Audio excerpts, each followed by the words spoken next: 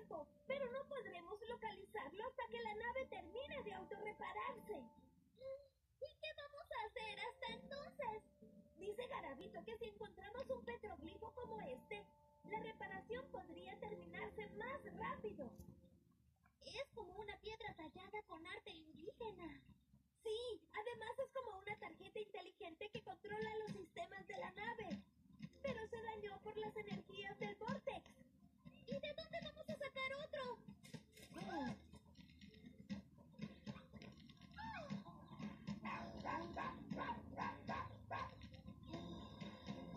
Yo los ayudaré con gusto.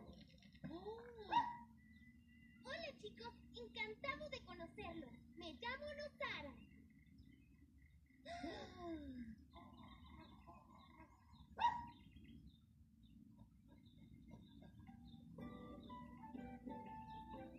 Espero que Cometa esté